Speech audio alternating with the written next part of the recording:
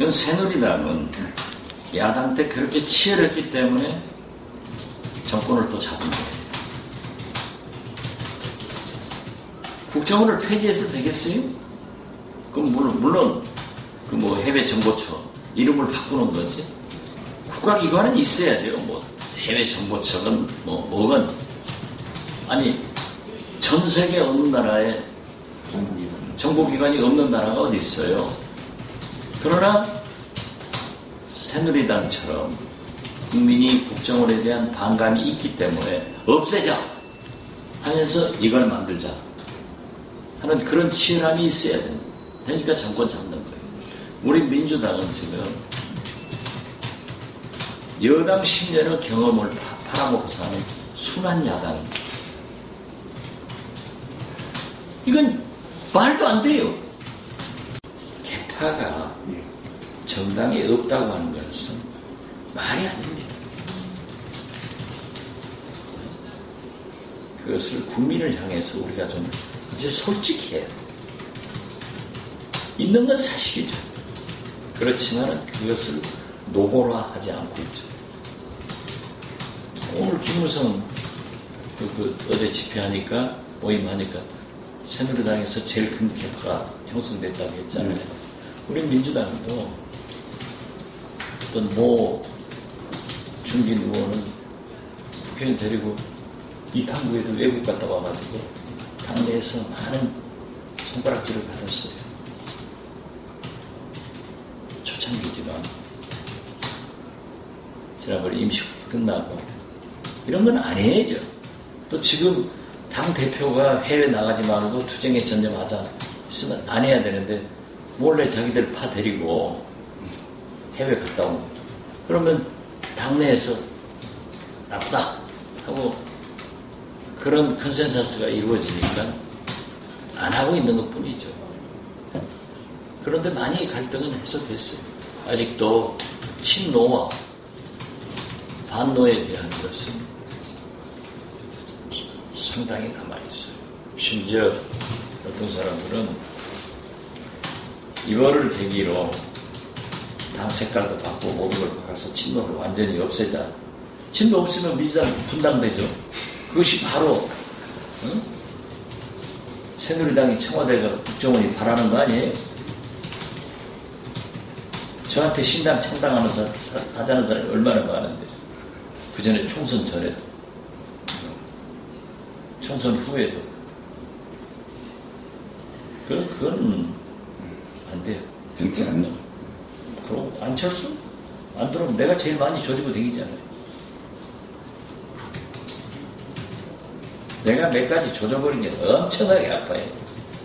그쪽하고 또 나하고 다 아는 사람들이니까 나보다 그 말을 해주지 말라고. 그러니까 민주당으로 오든지 안 오려면 야권 연대의 끈을 가지고 와야 돼요. 저는 그렇게 얘기를 해요. 우리가 아들 낳으면 남성답게 기르고 딸 낳으면 딸 낳고 여성답게 기른다고 하는 게 야당다워야 돼요. 어? 그럼 야당은 박근혜 대통령의 성공을 애국의 길을 CCTV로 평가를 해주는 것이 야당이에요. 그러면서 대안을 내야 돼요. 그래서 나는 국민 정서가 바뀌었기 때문에 야성을 나타내면서 유연성을 함께 가야 된다.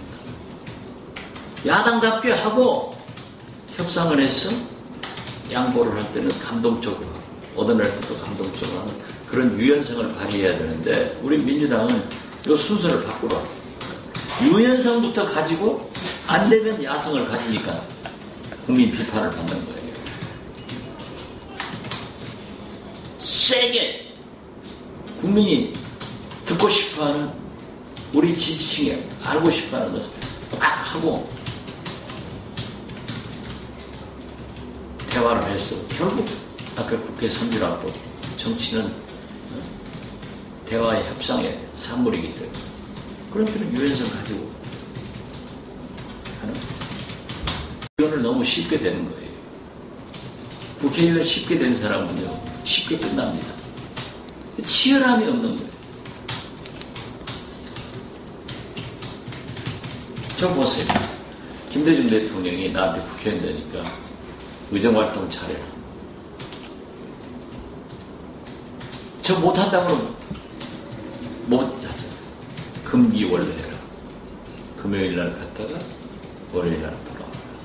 1년이 52주인데 50번 이상이에요.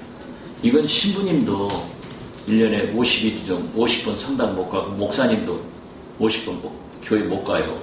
저는 해요. 금기 원래 금 금요일 날 어디 가? 귀향했다가. 금귀 금귀. 원래는 어디로 오라는 거예요? 서울로. 서울로 서울로 귀향해 가지고 예. 그늘 지역도 챙겨야죠 드시. 완전히, 아니, 1년이 52주인데, 50번 이상 안 하면 사겠어요? 여기 보시죠. 네. 목포, 목포. 주말마다 목포. 한 번도 안, 금년에 딱 한 번 빠졌어요. 눈 수술하고 한 번 빠졌어요. 그러니까 나는 지금 이제 9월 됐죠. 한 번만 안 내려갈 수 있는. 그리고 난 외국 한 번 안 갔어요. 그렇게 국회의원은 놀고 먹고 외국 놀러 가고 돈 먹는 것을 우리 국회의원처럼 일 많이 하는 게 어디 있어? 주말이 없잖아요, 우리는. 어, 내 수첩 보세요. 내 홈페이지에 들어가 보세요. 전부 하루는 안 빠졌네, 주말에. 그 못하는 거예요. 그게 바로 부산 국회의원들이었고, 지금 새누리당 영남 국회의원, 부산 국회의원, 아니, 저, 대구 국회의원 이런 거 보세요. 안 해요. 그런데 내가 18대 때 한 번도 안 받고 이렇게 하니까, 금기 원래, 금기 원래 하니까, 지금 우리 민주당 호남원들은 다 해요, 열심히. 이게 상징성이 있는 겁니다. 맨 처음에는 나한테, 아, 선배님, 대표님이, 그렇게 가면 저희들은 어떻게 됩니까? 야, 임마. 김대중의 물리적 영향도 쇠퇴했고, 국민도, 우리 호남 민심도 바뀌었어요. 우리가 잘못하면 민주당이 호남에서 버림받아요. 민주당은 호남만 가지고 정권 교체 안 돼. 호남을 빼고도 안 돼. 그럼 우리가 잘해야 돼. 네, 보세요. 한. 그러니까 제, 이제 표로가 금기원래, 금기원래. 해. 그런데 지금 호남 의원들 다 압니다. 단, 왜 호남이 민주당에서 국, 저, 배척받냐? 기초단체장, 기초위원, 요것들까지도. 전부. 그러니까 거기에 비리가 많거든. 이걸 싹둑 개혁해야 돼.